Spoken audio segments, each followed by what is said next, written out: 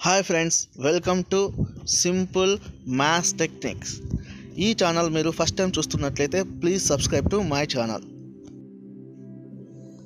ఈరోజు మనం వేదగణితంలోని ఊర్ధ్వ తిరియగ్భ్యాం సూత్రం ఆధారంగా ద్విపదుల గుణకారం ఏ విధంగా చేయాలో తెలుసుకుందాం.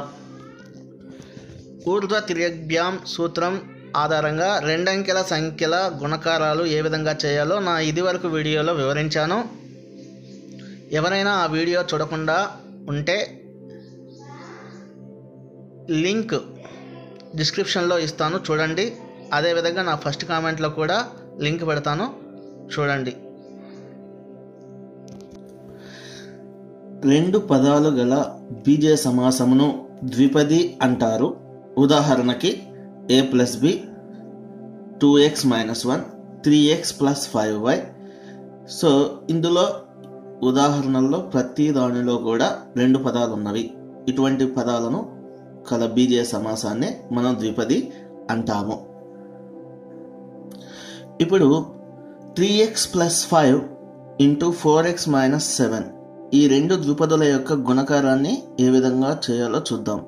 మామూలుగా సాధారణ పద్ధతిలో అయితే ఏ విధంగా చేస్తారో చూద్దాం. Three X plus five into four X minus seven equals to so ఇక్కడ మొదటి పదం అయినటువంటి త్రీ ఎక్స్తో ఇక్కడ ఉన్నటువంటి ఫోర్ ఎక్స్ మైనస్ సెవెన్ మొత్తం ద్విపదిని గుణించాలి.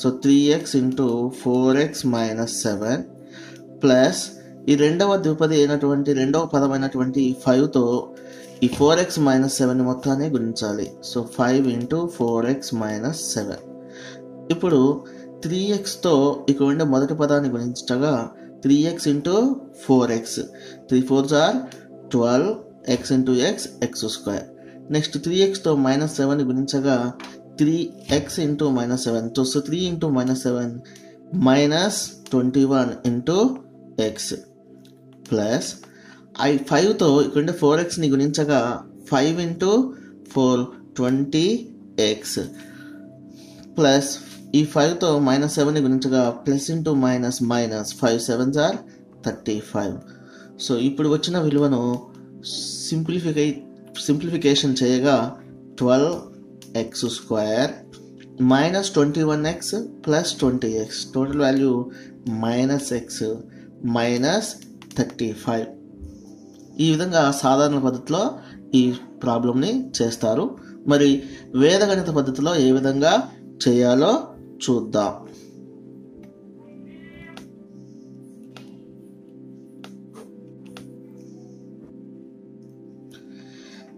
Three X plus five into four X minus seven.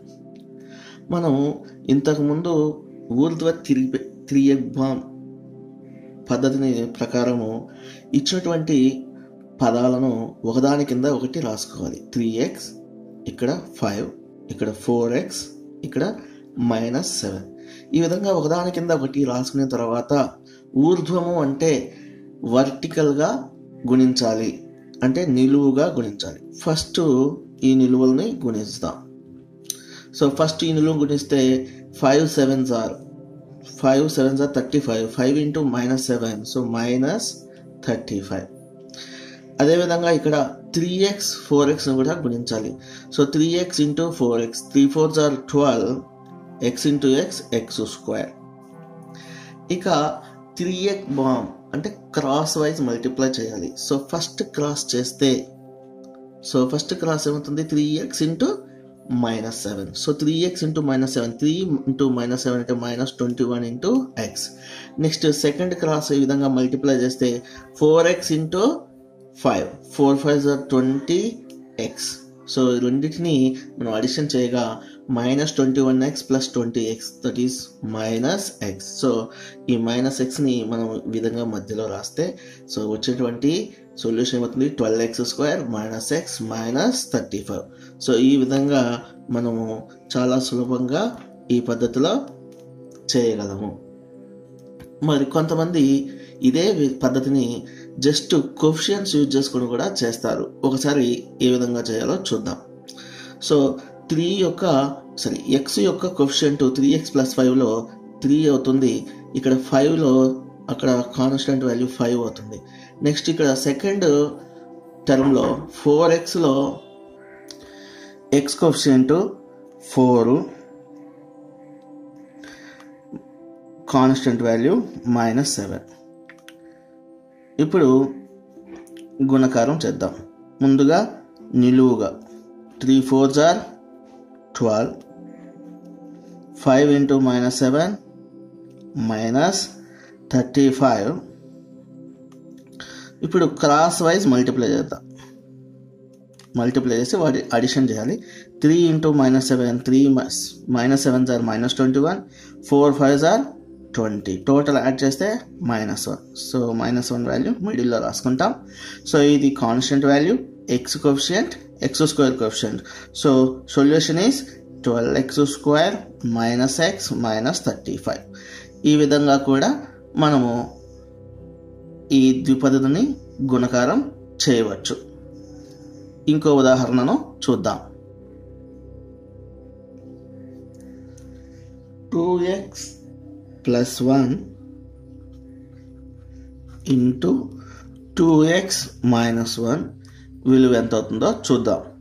So మొట్టమొదటిగా టూ ఎక్స్ ప్లస్ వన్లో X coefficient two constant value one అదేవిధంగా టూ ఎక్స్ మైనస్ వన్లో ఎక్స్ కోఫిషియంట్ టూ మరియు కాన్స్టెంట్ వాల్యూ మైనస్ వన్ రెండింటిని గుణించగా సో ఫస్ట్ నిలువుగా గుణించగా two twos are four one into minus one minus one ఇప్పుడు cross wise గురించి వాటిని అడిషన్ చేయగా two into minus one minus two one into two two minus two plus two value zero అయింది. So ఈ zero value ఇక్కడ మనం రాయాలి.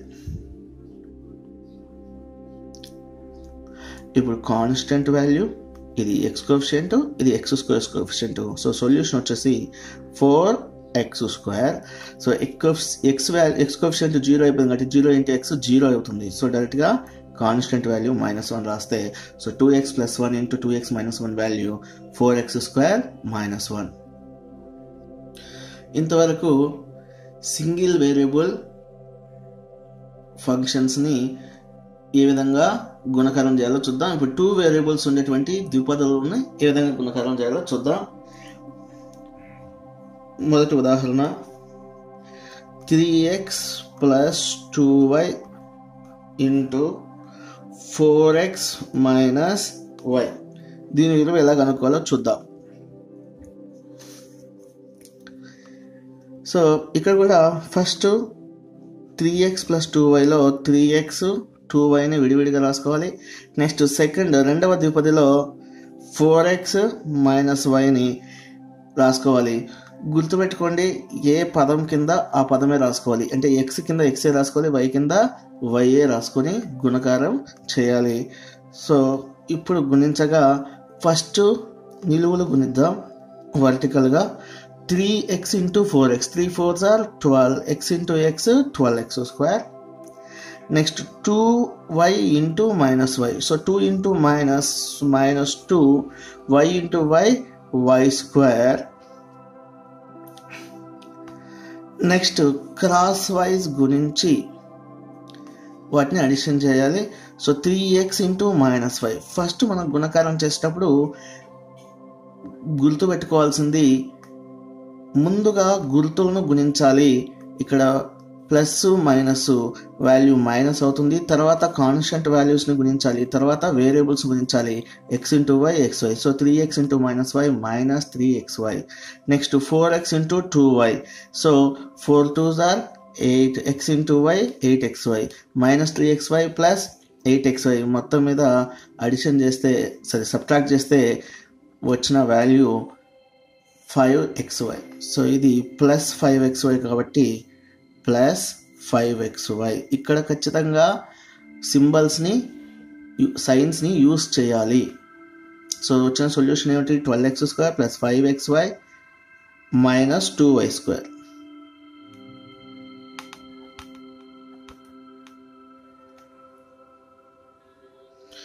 ఇంకో ఉదాహరణ చూద్దాం. ఉదాహరణకి A plus B into A minus B చూద్దాం. So A plus B into A minus B మనందరూ తెలిసిందే formula A square minus B square. చాలా సింపుల్గా ఏ విధంగా వస్తుందో చూద్దాం. A B A minus B. So నిలువలు గురించగా A into A A square? B into minus B minus B square. తర్వాత క్రాస్ వైజ్ గురించి అడిషన్ చేయగా A into minus B minus AB A into B AB so minus AB plus AB value zero. So మొత్తం మీద ఇక్కడ zero రాయగా so ఏ square ఇది zero కాబట్టి మనం రాయని అవసరం లేదు. డైరెక్ట్గా మైనస్ బి స్క్వేర్. సో వచ్చిన వాల్యూ ఎంత అవుతుందమ్మా? A plus B into A minus B అంటే A square minus B square అవుతుంది. ఇంకో ఉదాహరణని పరిశీలిద్దాం.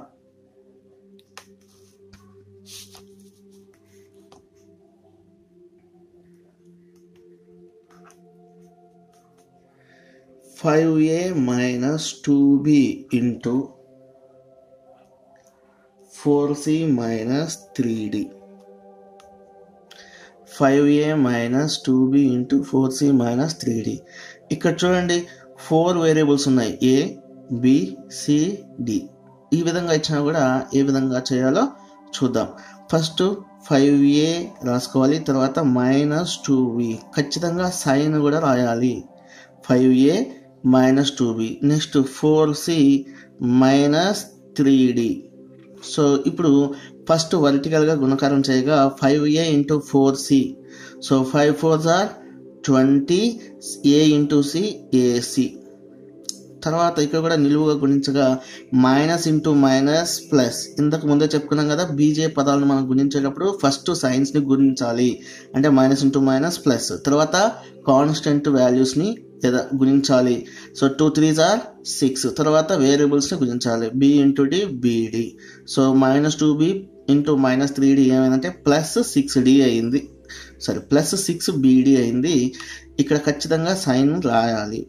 నెక్స్ట్ తర్వాత క్రాస్ చేద్దాం. క్రాస్ చేసినప్పుడు క్రాస్ వైజ్ మల్టిప్లై చేస్తే first five A into minus three same minus five three are fifteen A into D AD same ఇక్కడ కూడా క్రాస్ చేస్తే four C into minus two B. So minus four twos are eight minus four two are eight C into B BC అవుతుంది. అయితే ఇక్కడ గమనించండి ఈ రెండు ఒకే పదాలు కావు. ఇది ఏడి పదం అయితే ఇది బీసీ పదం. సో విజాతి పదాలు కాబట్టి వీటిని అడిషన్ చేయలేం కాబట్టి minus AD minus eight BC రాసుకోవాలి. దీన్ని ఈ మధ్యలో రాయగా సో టోటల్ వచ్చిన value twenty AC minus fifteen AD minus eight BC plus six BD అవుతుంది. ఈ విధంగా మనము